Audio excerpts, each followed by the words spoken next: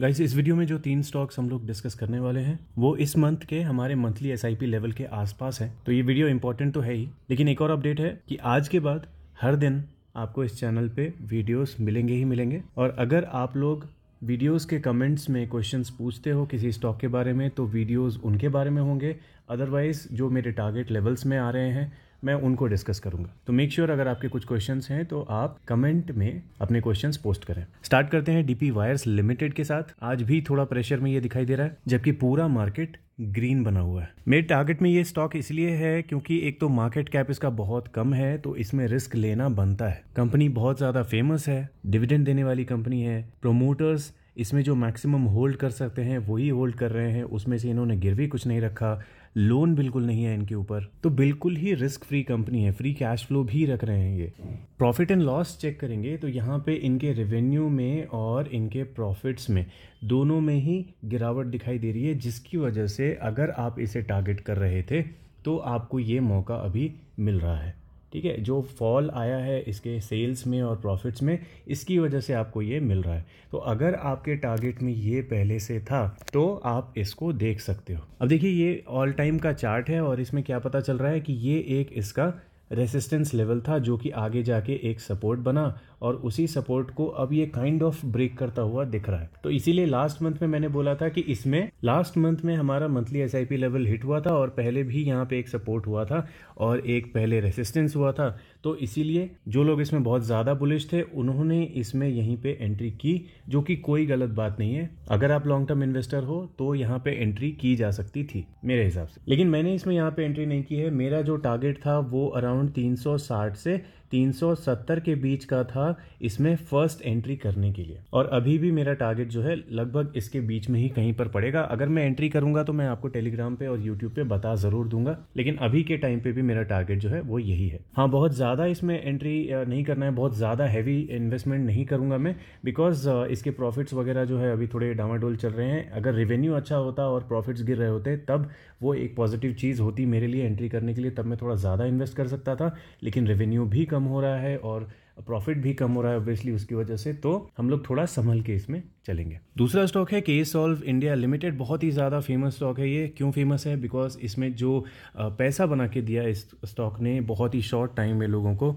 उसकी वजह से ये फ़ेमस हो गया। ओके डिविडेंड देख सकते हैं, बहुत ही अच्छा इसमें डिविडेंड मिल रहा है प्रोमोटर्स की होल्डिंग अच्छी है, और आरओसी और आरओई देखिए, इसी से आपको पता चल जाएगा कि इसने कितना रिटर्न बना के दिया है, बहुत ज़्यादा बना के दिया है, ठीक है? अब इसमें फ़नी क्या है, वो मैंने आपको बताया था एक बहुत पुरानी वीडियो में कि किसी ने मुझे स्टार्टिंग में किसी वीडियो में पूछा था कि आईटी का कोई ऐसा स्टॉक बताइए जो बहुत अच्छा दिखाई दे रहा हो और उसमें बहुत पैसा बनाया जा सकता हो। और मैंने काफ़ी रिसर्च करने के बाद उनको के सॉल्व का नाम बताया था जो कि आज भी उस कमेंट में है। और उस टाइम में स्टॉक अराउंड 380 400 के आसपास में कहीं पे चल रहा था।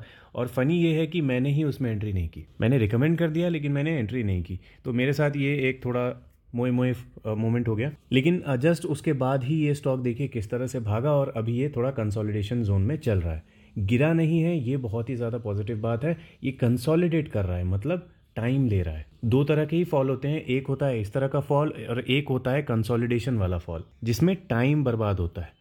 तो ये ज़्यादा अच्छा होता है, थोड़ा पेनफुल कम होता है राइट तो वही इसमें चल रहा है अभी। अब इसकी वजह से एक छोटी सी जो नेगेटिव चीज़ इसमें है, वो ये कि पब्लिक के पास होल्डिंग बहुत ज़्यादा है। अराउंड चालीस परसेंट के आसपास होल्डिंग सिर्फ़ पब्लिक के पास है एफ़ आई के पास बहुत कम है। तो जो बिल्कुल ही नए इन्वेस्टर्स हैं, उनके लिए ये स्टॉक थोड़ा अभी गलत लेवल पे मेरे हिसाब से होगा। अदरवाइज़ इसका अगर मैक्सिमम टाइम का चार्ट देखेंगे तो हमने देख ही लिया कि लॉन्ग टर्म में ये ऊपर ही जा रहा है, कोई मेजर फॉल इसमें कभी हुआ नहीं है। लेकिन अगर इसका पीई रेशियो e देखेंगे तो इसमें ये अपने मीडियन के पास इसका पीई ई और ईपीएस कंटिन्यूसली बढ़ता हुआ दिखाई दे रहा है। तो अगर कोई बहुत ज़्यादा बुलिश है और पीई रेशियो e को बहुत ज़्यादा सीरियसली लेता है तो इसके बारे में अभी सोच सकते हो। डीपी वायर के जैसा ही इसमें भी मेरा एक जीटीडी का ऑर्डर लगा हुआ है अराउंड 950 के आसपास सॉरी एक ज़ीरो ज़्यादा हो गया।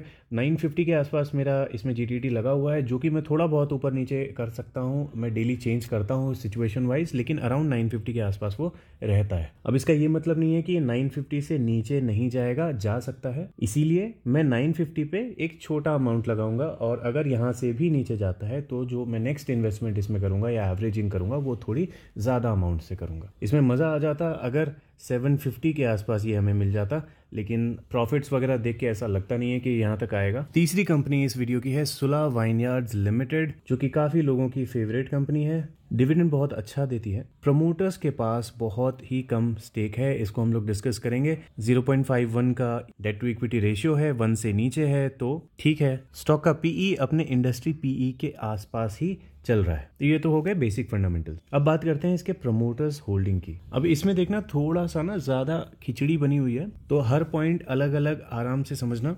प्रमोटर्स के पास जो स्टेक है वो पहले से ही क्या था? कम था। लेकिन इसको ये थोड़ा थोड़ा क्या कर रहे हैं? कम कर रहे हैं। अब ये देखना है कि इसको कम कौन कर रहा है। इसका जो मेजर स्टॉक होल्डर है, वो अपना स्टेक कम कर रहा है तो ये एक थोड़ी सी नेगेटिव चीज़ हुई। अब दूसरी बात करते हैं। पब्लिक में आप देखेंगे तो पब्लिक में स्टेक कितना दिखा रहा था? 55 परसेंट और वो हो गया 37 परसेंट अगर इसके डिटेल में जाके हम लोग चेक करेंगे तो ये कोई इंस्टीट्यूशन है या जो भी कंपनी है, उनके पास 18.68 परसेंट का स्टेक था, जो कि आगे नहीं दिख रहा। तो ये जो 18.68 का स्टेक है, अगर डी में चेक करेंगे तो ये हमको मालूम चलता है कि यहाँ पे और यहाँ पे ये ऐड हुआ है। तो दोनों ही एच के अलग अलग म्यूचुअल फंड्स में ऐड हुए हैं और काफ़ी बड़े अमाउंट में। ठीक है तो उम्मीद यही कर सकता हूँ मैं कि आ, शायद ये जितने भी इंस्टीट्यूशंस वगैरह और इंडिविजुअल्स जो हैं छोटी मोटी कंपनीज़ वाले इनके स्टेक्स शायद डीआईआई में दिखने शुरू हो जाएँ कुछ टाइम के बाद। I am not sure about it अगर आपको पता है तो आप कमेंट सेक्शन में लिख के बता सकते हो अगर आपने कहीं पे इसकी केस स्टडी पढ़ी है या देखी है। लेकिन एक चीज़